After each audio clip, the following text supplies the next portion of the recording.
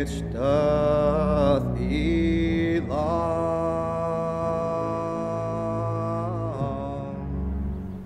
I've been walking in cemeteries. I've made a practice of walking in cemeteries for almost 30 years. And um, this piece is really kind of sums up, it sums up my process of, of working through what that means to me and what I think it has to offer other people. Take the chain from the gate. Walk in. No one really cares. Most of the stones have faded, are cracked, or broken. To me, it's um, the piece is folk-inspired classical done really, really, really right.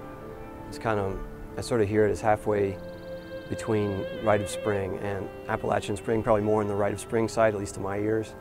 And that just, that's, that was, you know, one of my favorite, favorite pieces growing up.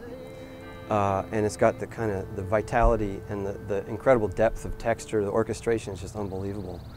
Um, so uh, it's yeah, it's really been a privilege to be involved with this. Here is entered the last remains of Isaac Aaron's buffer.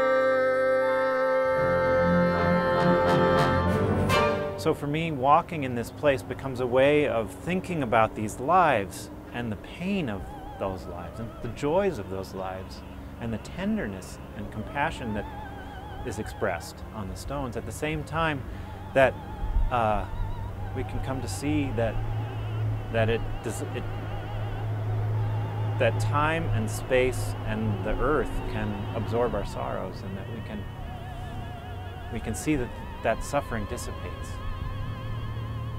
It resolves into peace